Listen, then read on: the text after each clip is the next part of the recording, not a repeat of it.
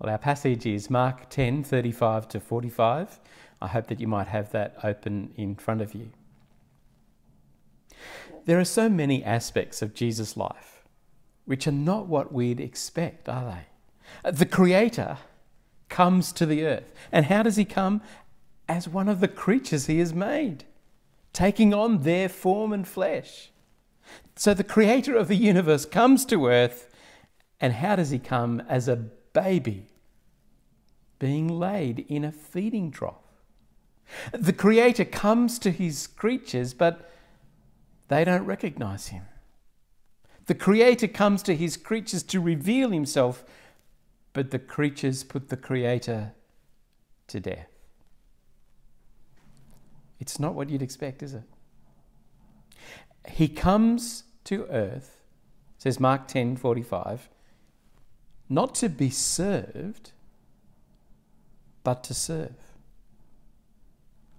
It's the very opposite of what you'd expect. Uh, we'd expect the Creator coming to His creatures would expect to be served, want to be served, demand to be served, to have all His needs and all His demands met uh, immediately, to be pampered, to be adored, to be bowed down to, to be honoured, to be waited on, to be hailed to want to control everything, to give out commands, to expect nothing but complete submission, to be served all day, every day, whatever he wanted, whenever he wanted it. Surely that's the greatness he deserves. He's the creator. Surely he came to be served. But no, he, he turns our expectations completely on their head. He says he came to serve. This whole passage turns our common thinking on its head, doesn't it? It begins with James and John wanting a favour, verse 35. We want you to do for us whatever we ask. Whatever we ask? Well, that could be anything.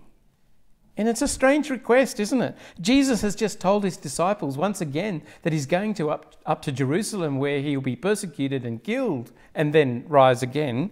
And James and John come back and say, Oh, we want you to do for us whatever we ask like us saying to someone great, Do us a favour, will you? without ever disclosing what that favour is. With great patience, Jesus asks, What is it you want me to do for you? In verse 37, have a look. They reply, Let one of us sit at your right and the other at your left in glory. So, in their minds, they're thinking, when you, Messiah, come in and boot those Romans out of our, of our place, we want a piece of the action, Jesus. We want to share the kingdom and the power and the glory. Jesus says in verse 38, You don't even know what you're asking. The path to glory, Jesus explains, is the path of suffering. Verse 38 again. Can you drink the cup I drink or be baptized with the baptism I am baptized with? Are you sure you know what you're asking? Jesus is thinking. Yes, they says in verse they say in verse 39, we're with you, Jesus. We can do all that, no problem. But Jesus assures them in verse 39 that they will in fact share in his suffering. And both James and John would share in martyrdom in due course. James within a few years, John 60 years down, down the track. But even so, the places of left and right will not be for him to grant. There is something so wrong about what James and John want, isn't there? Wanting power and status and authority, uh, wanting people to bow down to them, to respect them, wanting the glory. It, it's not a problem to, confined to the disciples of the first century, is it? It's, it's greed and selfish ambition and pushing others out as you make your way to the top that is behind so much of the disputes and the financial upsets and the political instability and the corruption that we see right around the world. And it's this divisiveness that creeps into even our own homes as we insist upon our rights before those of others.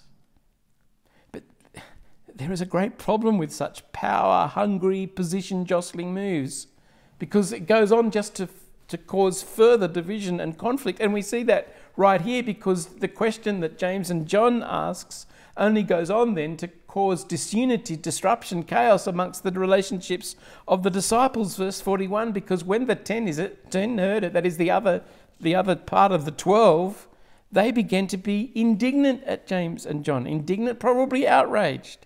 Can you imagine the questions? Who do they think they are asking such a thing? Are they any better than us? Why should they have those positions? And all the time, what they probably meant is, why didn't we think of it first? So Jesus turns it into a teaching opportunity about the true nature of greatness or about the nature of true greatness and the somber note which they had to learn. And you and I need to learn and relearn is that being great has nothing to do with grasping a position of power. In fact, Jesus says, and this really would have given them something to think about. You know that those who are supposed to rule over the Gentiles lord it over them, and their great men exercise authority over them. In other words, wanting the power and the right to rule, that's for the Gentiles, that's for the unbelievers, that's for the pagans to worry about. And you are reaping the results of all of that as you suffer now under Roman rule for the last 25 years. That's their model. That's how you, that's how you've lived. You're reaping the results of that kind of attitude. Leave that to the Gentiles. But in the kingdom of God, things are to be different. Among the people of God, things are to be different. It's to turn that on its head. Position jostling will be replaced with outdoing one another in service, in love, in being a slave to the other. The great one is not the one that looks to be served, but the one who looks first and foremost to serve. And that's about as opposite to 21st century living as it is to first century living. For right now, we're encouraged to get along to those seminars that help you to be yourself and to claim yourself and to find within yourself your own power, to gain control over others, to be assertive, etc., rather than having others manipulate you for their own purposes. If we don't get to move ahead, then someone will be there to take our place. That's what we're told, that's how we're raised to live. Sadly, it can happen in the church as well, meaning both a denomination and and at local church where people want to insist on their rights and their ways and them receiving the recognition and the positions of power. But here is Jesus encouraging his disciples then and now to turn all that on its head. You want to be great? I'll tell you how to be great. It's not with grasping to be CEO, but with putting out the garbage. It starts not with wanting a position of power and all the greatness attached, but the position that no one else wants. It starts with the washing up. It starts with not gaining control, but relinquishing control. It starts with not wanting all the attention, but giving all the attention. It starts with not taking the position of power, but with washing feet. This can't help but challenge us, can it?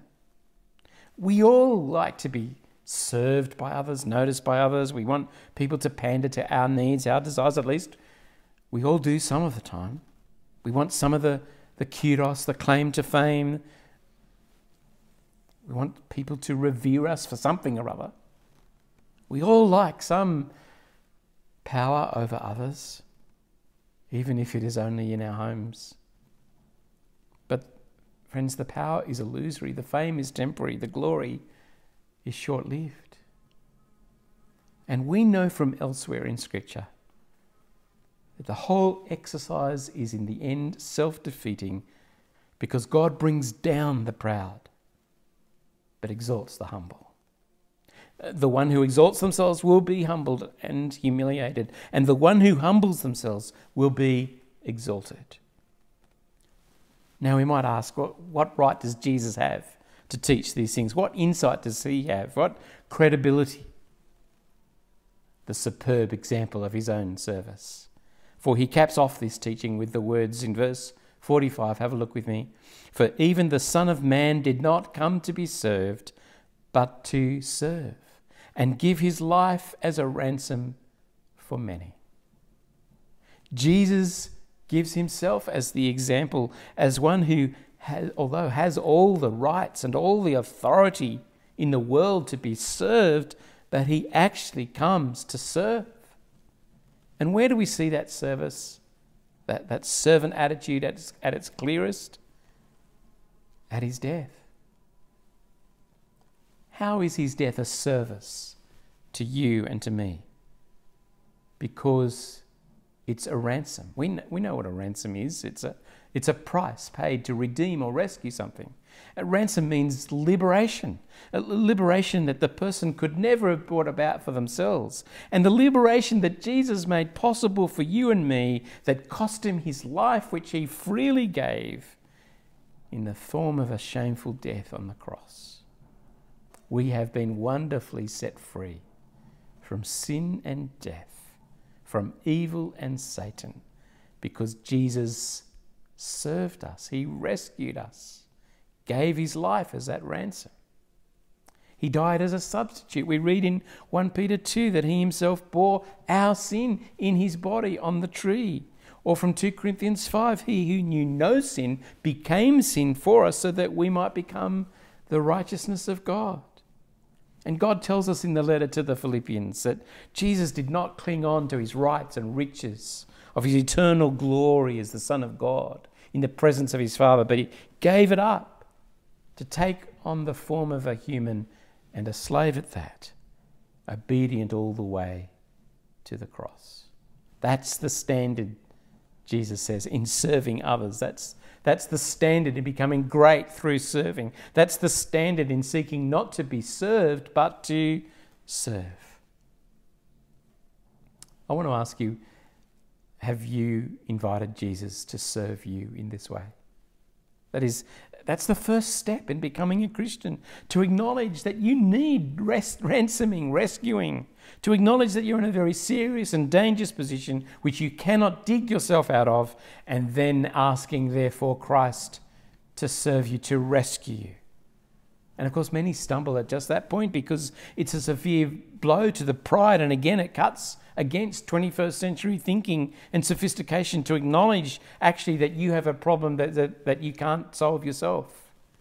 Many people believe that if they can only just score enough points with God, they'll be put right with Him. But oh no, it cannot be. It starts with allowing Jesus to serve you, with admitting your sin, admitting that you've been serving you instead of serving God, that you've been the center of your life, not Him. And if you haven't asked Jesus to rescue you, to serve you, then you've not yet understood the wonder of the Christian faith, the nature, the very heart of the Christian faith. Have you been served by Jesus? Was it your place he took on the cross? Do you have new life because Jesus died for you, served you?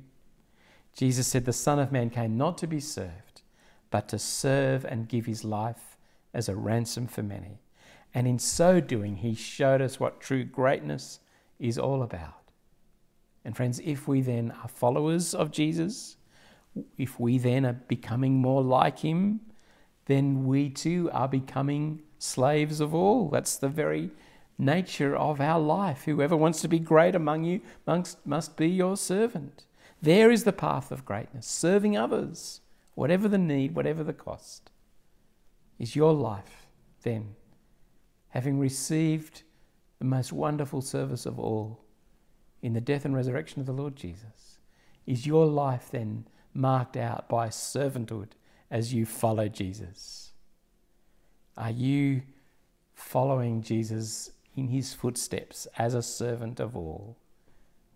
Or is there part of you that's still looking for a bit of recognition and power for yourself.